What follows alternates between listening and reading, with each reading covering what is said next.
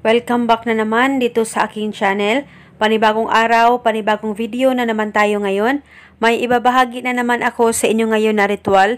Ito'y simpleng gabay at simpleng pamamaraan.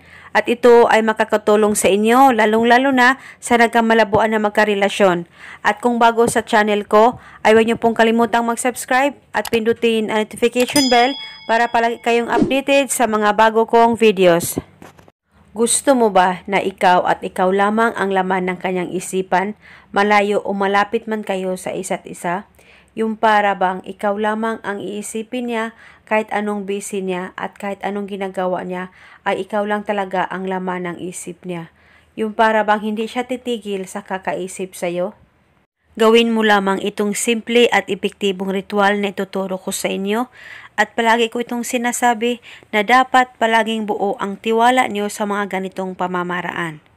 At gawin itong ritual sa kahit na anong araw o oras.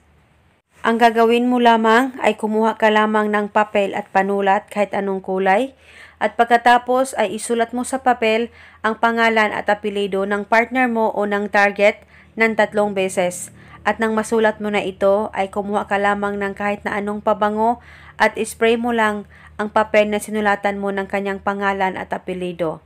At pagkatapos ay tupiin mo ang papel kahit tatlong tupi, hawakan mo ito, mag-focus ka at mag-concentrate at bagitin mo lamang ang mga salitang ito. Pangalan at apelido, ikaw ay hinding-hindi titigil sa kakaisip sa akin. Banggitin mo lamang ito ng tatlong beses. At pagkatapos ay itago mo na itong ritual, pwede ito ilagay sa bag mo, sa wallet mo, o di kaya sa likod ng case ng cellphone mo. At itago mo ito hanggang kailan mo gusto.